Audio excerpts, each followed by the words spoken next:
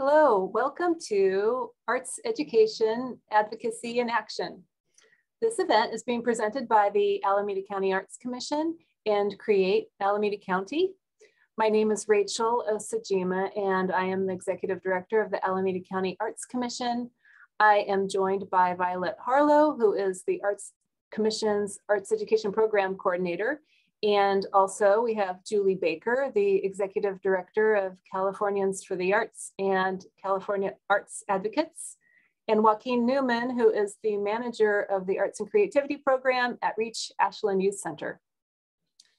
Every year in March, we celebrate Art is Education Month.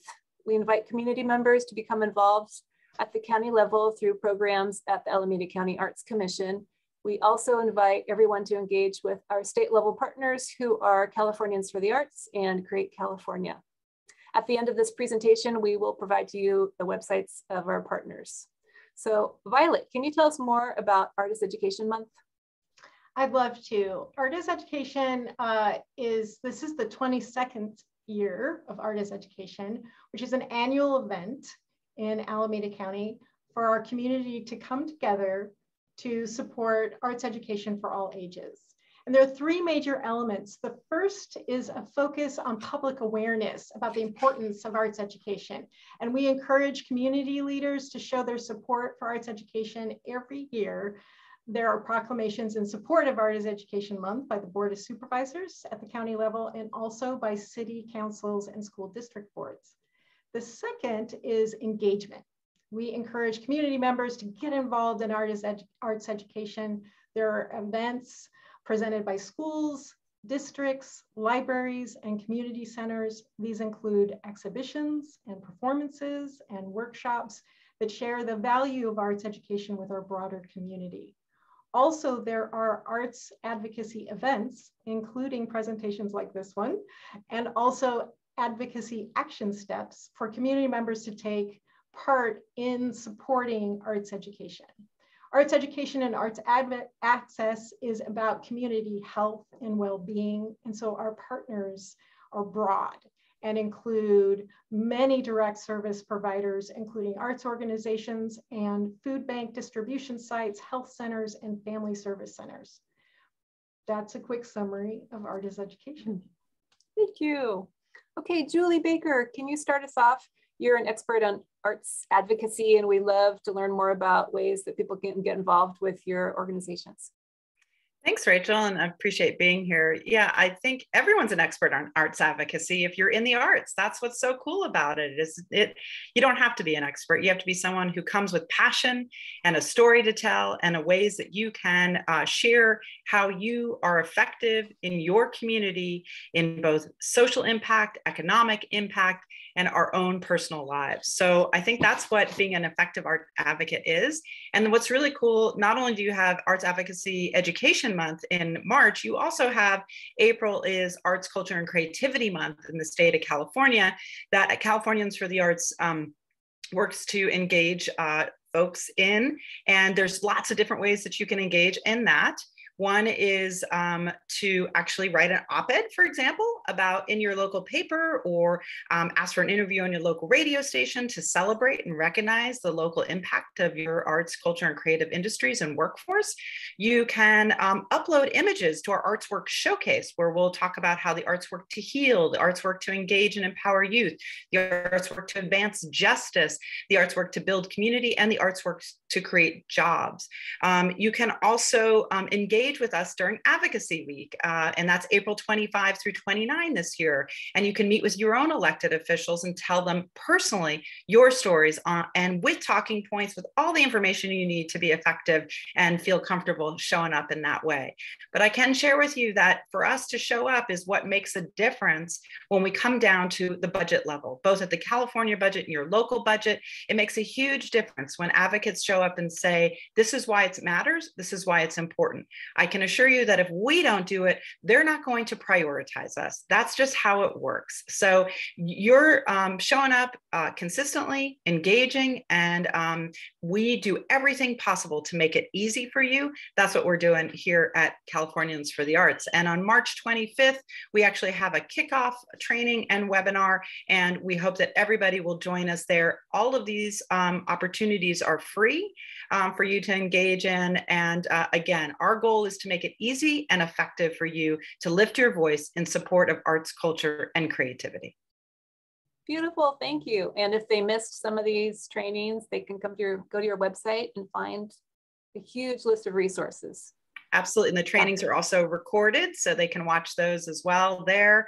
Um, they can reach out to us. Uh, we're, you know, we're humans on the other end of the phone, uh, ready to answer that call and um, to support uh, folks who want to get engaged in this way. It's, it's, it really does make a difference. That's what I also want to share is that advocacy works.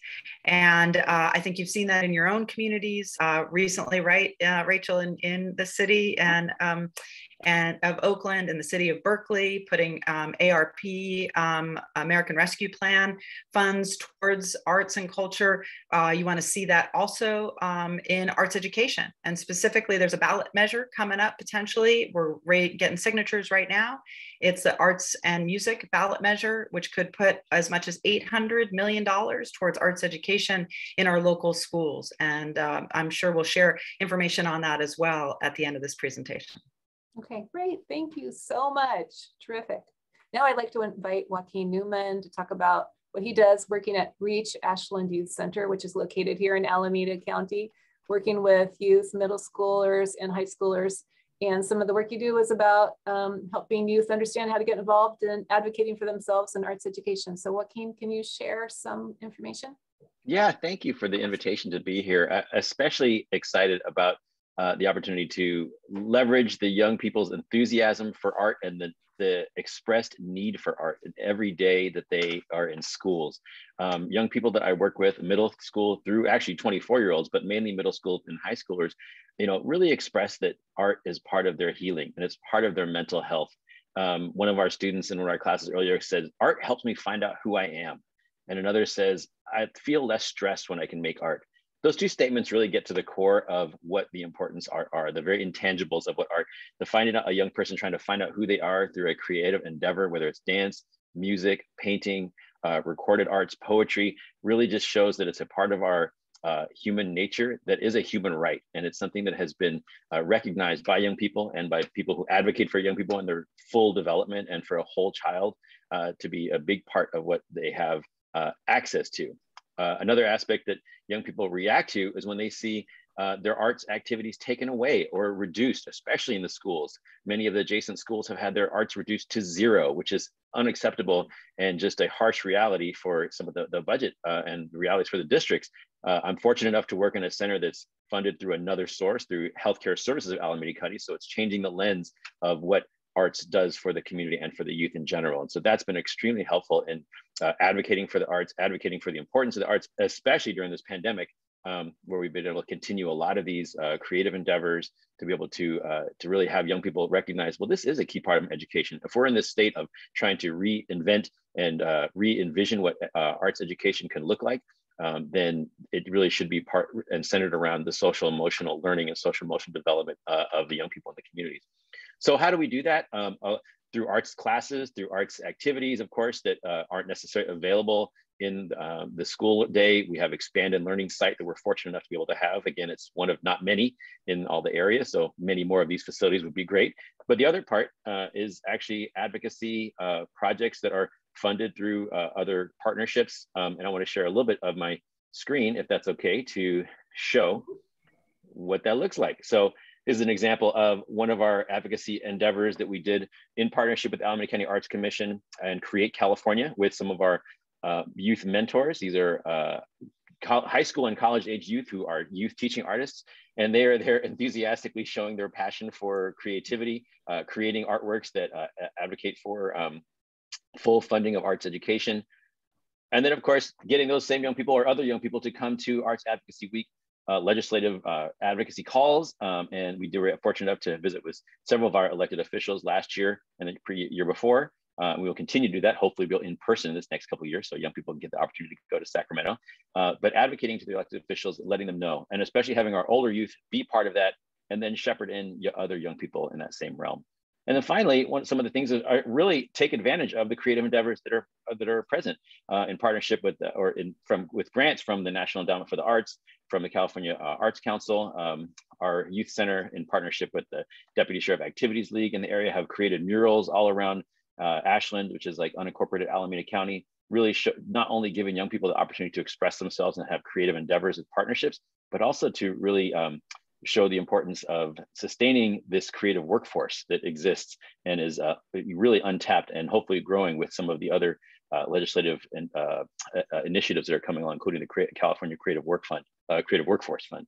So some of the really exciting things that are happening uh, are really part of getting young people energized around the their knowledge and their awareness of the inequities that happen with access to arts but also what are the steps to get there? And Create California has been a really great portal for young people to get that information in a digestible form and, and shareable on their social media. Terrific. And it's been so wonderful for you to be involved with um, Arts, Culture, and Creativity Month and um, coming to those legislative visits and bringing youth from the youth center along. And I know that those elected officials always really want to hear about the perspective of a young person and, and what they value in the school and the community. So thank you so much for your involvement. Thank you. So with that, Julie, do you want to say any last words about how to get involved and sort of like the next steps for um, for things that you're working on and then come to yeah i mean the best way is to go to our website californiansforthearts.org and um, uh, click on arts culture and creativity month which is the full month of april. There's all sorts of ways that you can engage. You can simply download our logo and include it in your activities in april. You can share our social media toolkit on a weekly basis that will give you all the prompts for um, as we discuss how the arts work in our communities. You can engage in arts advocacy week and attend a march 25 training. And you can include as an artist or an arts organization, participate in our arts work showcase, upload an image, you can uh, you know, include a poem, you can include videos of what you do already, and um, you'll be entered into a weekly prize drawings of cash prizes of $250 for an artist and for an arts organization. And that's just a random drawing that we're doing. So we really hope that people will participate in that creates a repository, a gallery, a showcase of all the amazing work that's being done in our communities. So we encourage everyone in Alameda County to, to get out there and showcase all the great work that you're doing and participate in Arts, Culture, and Creativity Month. Terrific, I love it. And then also everybody can go to the website of Create California that also has fabulous resources and a toolkit that you can use also to download information and post things on social media. So um, you uh, can see the websites of our organizations here, and we invite community members to learn more about um, everything that we're doing and get involved. And with that, I'd like to thank you so much, Julie Baker and Joaquin Newman for being here today.